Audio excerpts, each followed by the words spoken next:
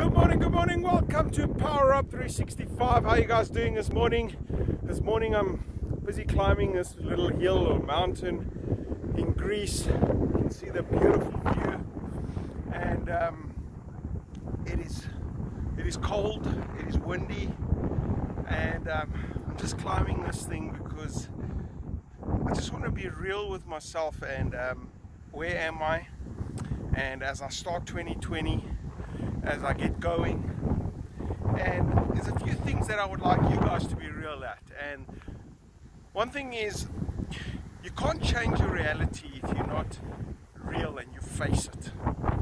And the first thing I had to face is I went through my goals of 2019 and I went through my goals now of 2020. And one thing was health, and I realized I'd actually put on weight. I'd actually put on weight in 2019. Has that ever happened to you? When you actually go to a goal and you put this goal and you want to go forward and you actually do worse? So that means you've got to hold yourself accountable. And um, this morning I just decided, let me just climb up here and say, you know, that this is unacceptable of myself and um, the goals that I want to do. Then the next thing I did, I wrote down all my, my financial position all the deals I did good, bad, great, excellent. What, what went wrong, what didn't go wrong. And I, I'm climbing this mountain today and I just want to spend some time just to face some reality of where I am.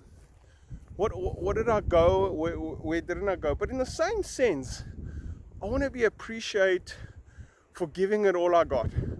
I want to be appreciated for playing out full.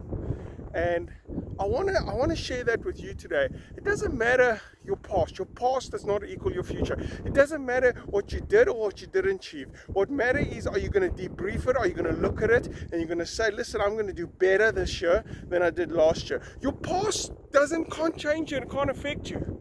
The only thing you can do with your past is learn from it. And and I'm thinking, yeah, in Greece, and everyone is always against Greece and how bad it is in the economy. And then I look up here and I say, it's it's beautiful, it's it's amazing. Um, if you focus on what's wrong, it's available. But if you focus also on what's right, it's also available. So are you going to climb into a cocoon in 2020 or are you going to step up? Are you going to step up and go for what you want? Are you going to what, look at yourself in the mirror and hold yourself accountable to what happened and what didn't happen? Are you going to say, um, I did not perform there and I will perform there? Are you going to step up into your greatness? What are you going to choose to do in 2020? And this whole next week, two weeks, that's all I'm doing. I'm pushing for 2020. I'm pushing to become better. I'm looking at my companies. What are you doing? What are you doing to push yourself to better, better? Or are you feeling sorry for yourself because it didn't go so well in 2019 and you're feeling sorry for yourself? And if you are, how is that helping you? How is that helping you? It doesn't help you to feel sorry for yourself. What helps you is to push forward, dig deep, climb the mountain, feel the pain, feel the cold, feel the wind, feel it and push through and push through and push through, and you will win at the end.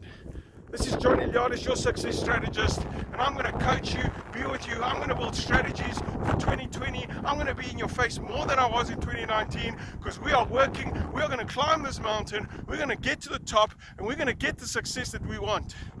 Go out there and make it happen. Stop giving up. Build big goals, massive goals for 2020.